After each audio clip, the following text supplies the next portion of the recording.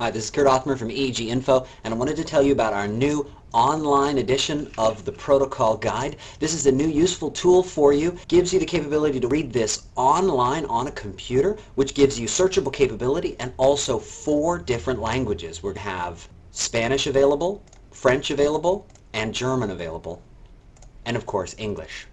To order the new online protocol guide, go to our website, eeginfo.com, and click here on Products, up here in the search bar at the top, you can type in Protocol Guide and click here on the Protocol Guide Online Edition. Down at the bottom it says Add to Cart and continue with that and that'll get you the new online edition of the Protocol Guide. Once you've ordered, you'll receive an email from us that'll give you a link to our members area. If you want to log in at another time and you don't have access to that email, you can also access this members area just by going to our website, eeginfo.ch. This is our partner website. And on eeginfo.ch, you'll see a login link here in the upper right-hand corner. Click on that, and that'll take you to the area where you can type in your username and password, which you will also receive from us when you order the online protocol guide.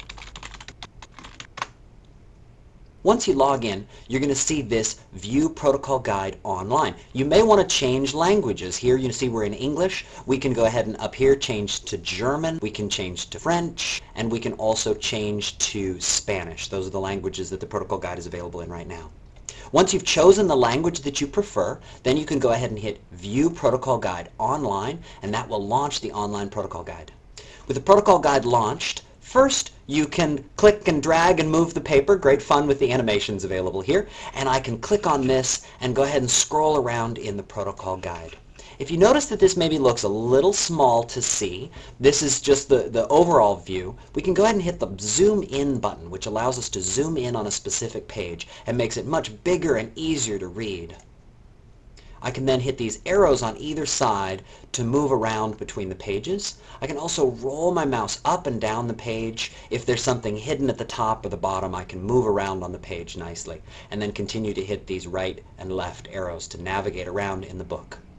For even better navigation, I can go down here to the thumbnails and in the thumbnails, I can actually move all the way around in the book. I can use the arrow at the top, I can use the arrow at the bottom, or I can even use the scroll wheel on my mouse and scroll this down to another area in the book that allows me to get to a specific topic.